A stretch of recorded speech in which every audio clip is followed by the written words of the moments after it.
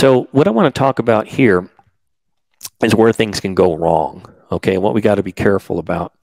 So one of these things, like that thick blood I'm talking about, and also, you know, that um, plaque formation and stuff. Well, you can get also, in addition to that, calcified, calcified plaque, you can get soft forms of plaque, and you can get what's called blood clots. Okay. Um, this is what they call a thrombus when it's actually stuck to the vessel. Okay, and you see how they can get really big. Well, these things are dangerous. And, excuse me, when um, they break free, it becomes what's called an embolus. And you can, from an embolus, it travels through your body. And if it gets stuck in a thinner, like one of those capillaries or a thinner area, um, particularly like in the lungs or the brain or the heart itself, you, you know you can end up with heart attack and stroke really bad stuff. So we don't want this happening. So i'm bringing this in context because when we don't address the source of the issue and we just try to push through it right? We just try to force the erection to happen with something like say ed drugs for instance okay we're going to force it to happen.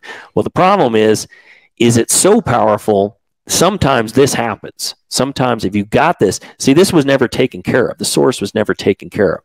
So you're trying to treat the symptoms and it's so strong, sometimes this breaks free and you can end up with heart attack and stroke. And that's a couple of things they don't tend to emphasize too much with ED drugs, but this can definitely happen and does happen. Heart attacks and strokes with it um, in especially if you get like heart palpitations, bad headaches. I mean, you got to pay close attention to that, looking at your blood pressure, because this is a very real thing if you're taking ED drugs. So it can break through once again, and if it gets into one of these smaller uh, vessels and it can't travel any for, further, then no more oxygen can get through. It, it just kind of kills it off. See, dying muscle right here. It kills it off because there's no more oxygenation because of this blood clot that got thrown in there. Okay, let's say from the ED drug. Well, then all of a sudden, this starts dying off and you get a heart attack. Same thing with stroke, right? It's the same process. It breaks free and then it gets into a tiny vessel where it can't go any further. And then the brain starts dying off wherever that is. And there's a lot of, I've seen a lot of stroke patients in my time, and there's a lot of variety with strokes and how bad they can be, and they can be really bad. You definitely don't want this. And here's the other thing. One other thing, like I, I have a new diamond member who's doing really great. He was he just starting, but he's already noticing improvement, especially with the sleep because he was taking ED drugs all the time. And one of the horrible side effects he was having was constant reflux. And I had a friend of mine, same way. Said the reflux was just horrible.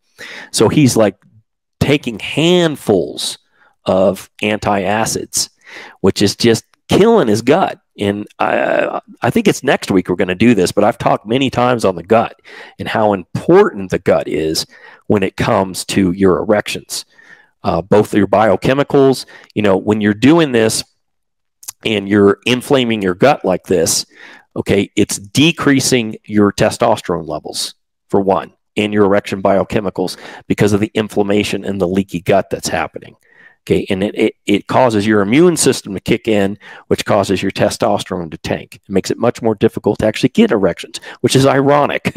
the thing you're taking for the erections, the ED drugs, is wrecking the gut, which is killing your natural ability to get erections because of th- those two factors, one of which is this erection biochemical factor, it's bringing those down because of this damage to the gut, but also this damage to the gut is affecting the endothelial layers in in the blood vessel itself.